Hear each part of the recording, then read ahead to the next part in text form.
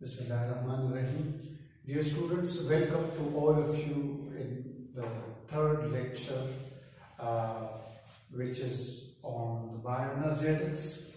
Uh, bioenergetics is chapter 7. Um, in the last two lectures, we finished chapter 6, which was enzyme.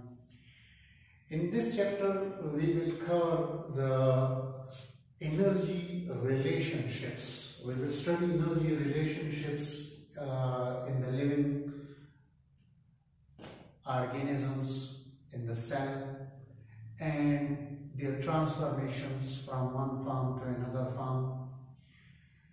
There are so many metabolic chemical reactions going on inside our body which we discussed in the chapter 6 in enzymes. Here we will study these processes in detail that how energy is being stored and how energy is being released in which form in, uh, in which form energy is released from the food stuff we are eating and how energy is being stored. In all these things we will study in this chapter and its name is bioenergetics uh, dear students, in chapter 4 you studied the cell st structure and function in detail and in chapter 6 we studied the role of enzymes in different metabolic uh, in different metabolic chemical reactions.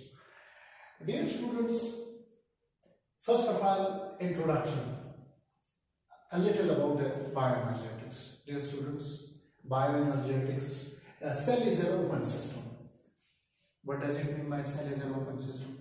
Material constantly come inside in the cell and they are leaving the cell constantly. For example, in the red blood cell having hemoglobin, they are getting oxygen and constantly the carbon dioxide is getting out from it. Along with that, different type of materials are getting entered in the cell by this process of endocytosis and different metabolic wastes are constantly removed from the cell by the process of exocytosis which you studied in uh, chapter 4 in detail. So when materials are getting entered in the cell there are two types of reactions usually carried out. The synthesis reactions in which different molecules are synthesized and the oxidation reactions in which usually the molecules are oxidized and energy is being released. By definition, bioenergetics is the study of energy relationships and energy transformations in living organisms. Let me to elaborate this definition. Energy relationships and energy transformation. What does it mean by energy transformations? In physics, uh, in, you studied that energy is in two forms, basically in two forms, the kinetic energy and potential energy the potential energy is usually that energy is referred to the, uh, this term is referred to that energy uh, in which energy is stored and kinetic energy is the energy which drive different kind of processes, physical processes, physical activities, different type of activities are driven by kinetic energy. So constantly the solar energy is converting into potential energy and potential energy into kinetic energy. These whole uh, processes and uh, chemical reactions are covered by the bioenergetics. Actually, here we will study the quantitative relationship of energy with the cell also. What does it mean by quantitative? Uh, study of the energy in the cell or in living bodies. For example, here we will study that how much energy we get by uh, we, we, we can get from a molecule uh, which is a carbohydrate, lipid or protein. How much amount of energy we can receive, how much energy is being stored in a bond, a chemical bond, and uh, how much energy we need to make a bond. So this is these all are quantitative studies, and here we will also study the quantitative uh, study of the energy in the cell. Examples are uh, photosynthesis and respiration. Uh, photosynthesis is a great example of anabolism. Uh, I want to repeat the definition of the anabolism. First of all, we have to study, uh, we have to know about the metabolism. All of you know definition of the metabolism. Metabolism is the sum of all chemical reactions that are going on inside a living body. It have two types, anabolism and catabolism. Anabolism is a constructive process. Respire, uh, photosynthesis, we have photosynthesis is a great example of the anabolism because it's wholly solely a constructive process in which a molecule is being synthesized. A glucose molecule is synthesized in the presence of sunlight with the help of chlorophyll from carbon dioxide and water molecule. Dear students, uh, here we store energy. The light energy is converted into potential energy and chemical energy in the form of glucose and then in the respiration these molecules, I'll see, glucose molecules are broken down and energy is being uh, released. Here we have a flow chart. Um, first of all, reduction of carbon dioxide and this process is also called as photosynthesis. Uh, here we put energy in the form of light and a, and a food stuff or good, for example glucose is obtained because glucose is a product of the photosynthesis. Then uh, oxidation of this food molecule occur and we get we get energy in the form of ATP along with there some energy is being released in the form of heat how energy, how ATP is formed, what is ATP? ADP, adenosine diphosphate plus PI, PI inorganic phosphate and here we got an ATP molecule. ATP is an energy currency which which we will explain inshallah in, uh, in, in the coming uh, the coming topic is the uh, ATP. So we will explain it in detail. Then um, this ATP is transformed into use, utilized in different kind of activities that is active transport. Um, all of you know what is active transport. Active transport is the form of transport in which molecules move against the concentration gradient with the expenditure of energy. This, this, this definition you people know very well. So what sort of energy it need? It need energy in the form of ATP. Secondly, maintenance. Maintenance, continuously new cells are formed, old cells die, new cells are formed and repairing of the body usually carried out with the passage of time. New cells mm, formation needs energy in the form of ATP. And chemical synthesis, different chemical molecules are synthesized by the help of energy. Dear students, there is no none of the activity, none of the activity in the living body can be performed without the expenditure or without energy. Simply, I will give you a very minor example. In the cell division mitosis, uh, I will give an example of mitosis. The chromosome move from one pole to the equator. At least 30 ATPs need to move one chromosome from the polar region to the equator. 30 ATP molecules are used. So usually the students think that how energy is being utilized in the living particles. Inshallah, in our coming uh, topic, we will cover this area too, that how energy is being utilized in different processes. Dear students, our next topic is redox reactions. In the previous topic we discussed that uh, we, we, talked about the bioenergetics and energy transformations and how energy is transformed from one form to another form. Here we will study redox. Basically these redox is a combination of the reduction and oxidation reactions. These two reactions are simultaneously happening in the major biochemical processes like photosynthesis and respiration. The redox is operating, redox is operating these two major processes. Dear students, life processes and living organisms need a constant flow of energy and these are unseizable metabolic processes which constantly in which constant flow of energy is usually uh, usually occur. These two uh, reactions in chemistry you, you you study that what is reduction and oxidation, but a little I want to add here that the gain of electrons or the loss of oxygen or the gain of hydrogen is called as reduction. You will you will see the reduction process in photosynthesis. You will see the reduction process in respiration. Oxidation is the loss of electrons, the gain of oxygen, the loss of hydrogen. These are the properties of the oxidation reactions. Dear students, oxygen if combined with another oxygen, uh, uh, with another oxygen, they, they make a stable molecule, but it is not a good source of energy.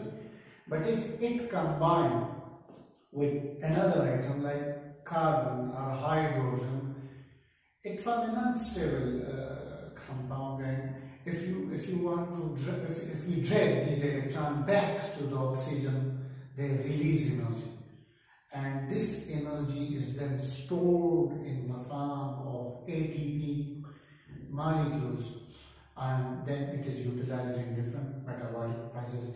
Here if you see if we we, we, we lost these two electrons uh, th this process is called as oxidation. If we gain the two electron, then this is called as reduction.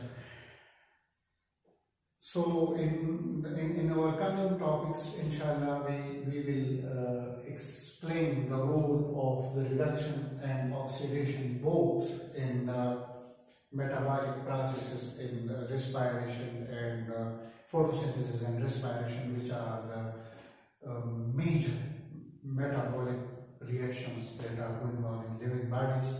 And what is the role of reduction and oxidation in these major biochemical reactions? In the coming topic uh, I'm going to start the ATP which is the energy currency uh, so let's uh, study the ATP Dear students, our next topic is ATP, the cell's energy currency. Dear students,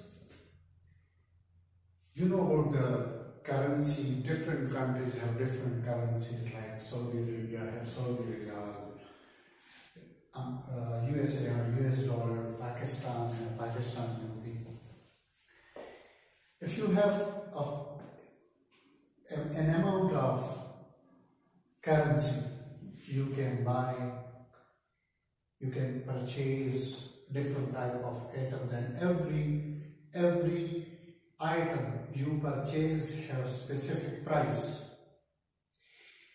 Just like that in the cell energy is present in the form of energy coins and that energy coin is called as ATP ATP stands for adenosine triphosphate. Adenosine triphosphate.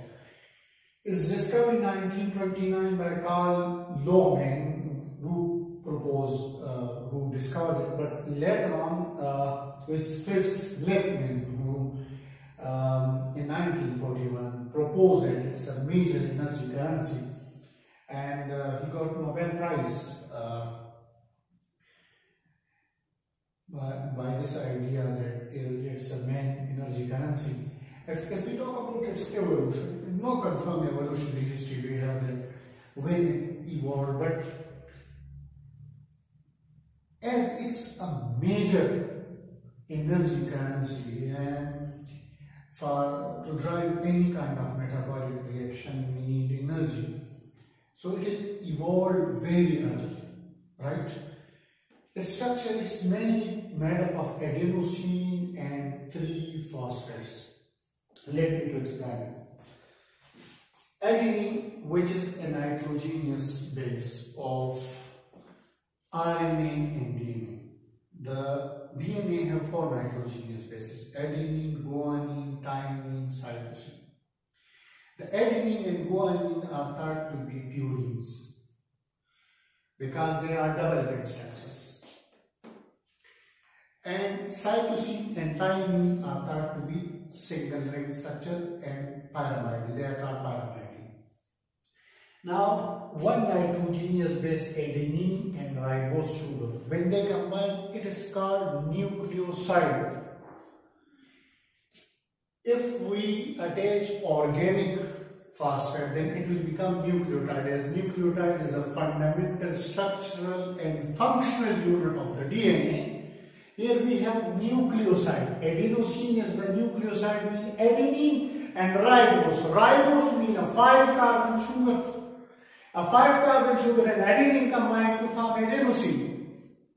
And when three phosphate, inorganic phosphates are attached, it's called adenosine triphosphate. If one phosphate is attached, adenosine monophosphate. If two phosphates are attached, adenosine diphosphate and adenosine triphosphate. If three phosphates are attached. The bond here is currently covalent bond but it's a high energy one, that's why it's curling. Let me to clear a very important point here. The student must think about it that there are four nitrogenous bases, adenine, guanine, thymine, cytosine. About thymine and cytosine we can say that these are the pyrimidine. So uh, probably they will not contribute to form any energy molecule. But what about the guanine? Guanine is also a double ring structure. Why just only adenine? So dear students, Goa, uh, GTP is also found. Where it is found? In the Krebs cycle of animals cell. Krebs cycle of animal cell, which is a very vital uh, step of the cellular respiration, aerobic cellular respiration. The GTP is found, but GTP is soon converted into ATP. And ATP is considered to be as the main currency molecule, energy currency molecule, but it's not fact that uh, rather than adenine, there is no other molecule which can form energy molecule. Yes, GTP is uh, there, GTP is formed, but it's not uh, abundantly formed. All the enzymes we have, all the uh, machinery, the cellular machinery facilitation is to form the ATP in, in, in large amounts. That's why it is considered to be as the main energy currency. Right? And how we will get energy and how it is formed, let's discuss how ATP is formed and how we will get energy from the ATP. Dear students, how ATP is formed? ATPs are usually formed when metabolic reactions like respiration happen in the living cell. It usually releases energy that energy is released in the form of, uh, that energy is stored in the form of ATP. If we have, how we will form an uh, ATP molecule. First an AMP adenosine monophosphate plus a PI inorganic phosphate plus energy. They will form ADP. The question arises from where this energy will usually come. This energy will usually come from the movement of the electron electrons in the electron transport chain. Electron transport chain is the chain of protein molecules that are embedded in the membrane of mitochondria Mitochondria is the main uh, organ, as we previously mentioned in the chapter 4, that it is the powerhouse of the cell. How we can call it as the powerhouse of the cell because it, it farm energy, it farm ATPs and this, this energy will come from the movement of electron in, in, in the electron transport chain. Electron transport chain are the series of protein that are embedded in the membrane of the mitochondria. When the electrons move, they release the energy and that energy is stored and ADP is formed adenosine diphosphate.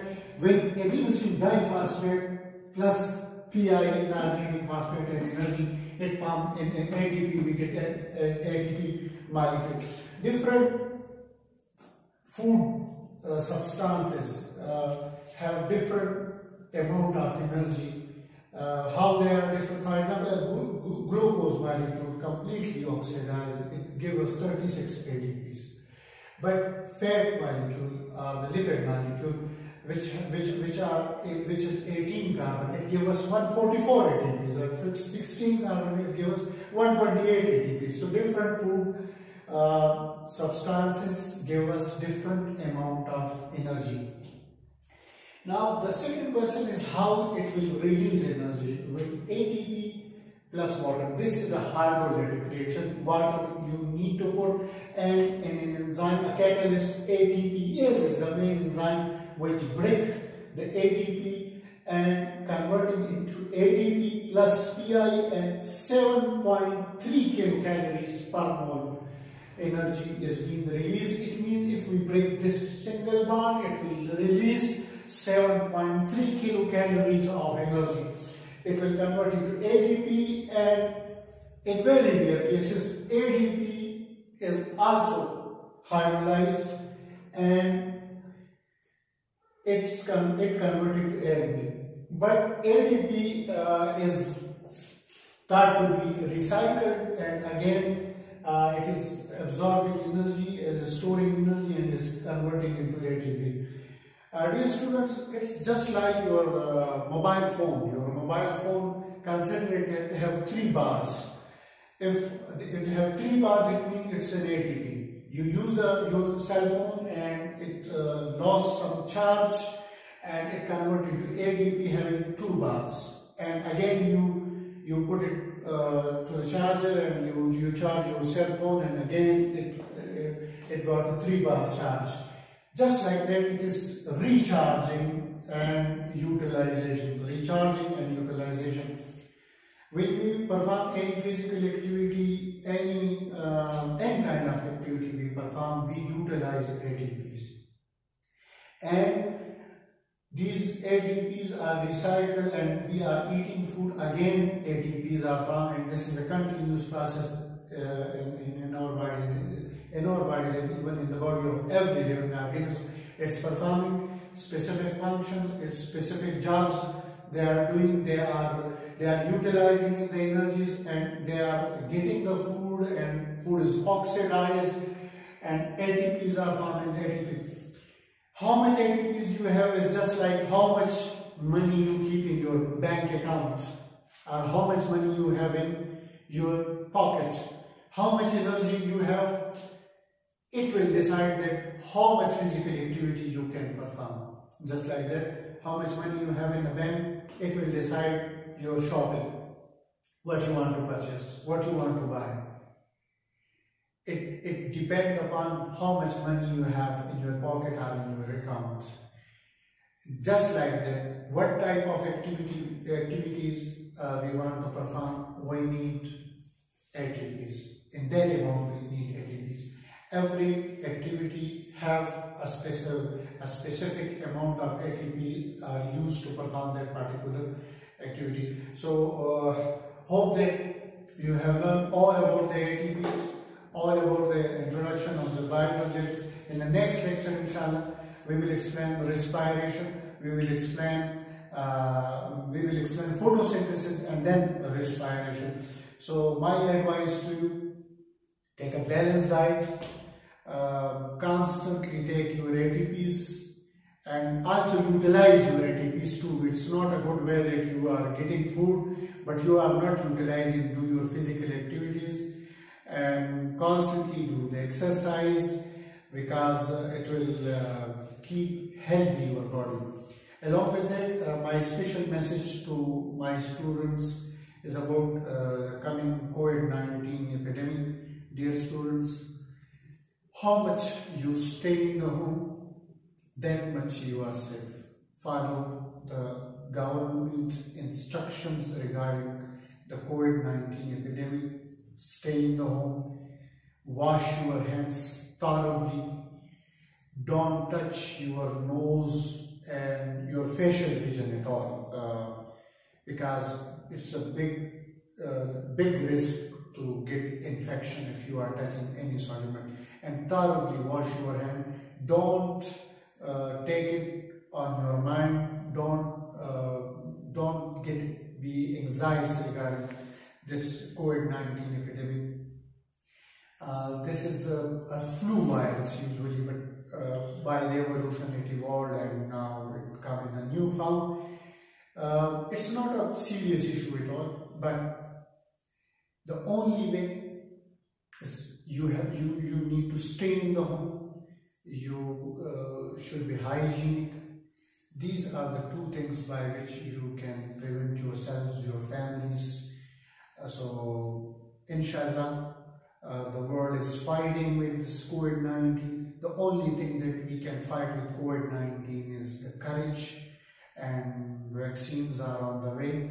It shall hope that vaccines uh, soon vaccines will come in the market, but uh, follow the precautionary instructions by the government. Thank you so much.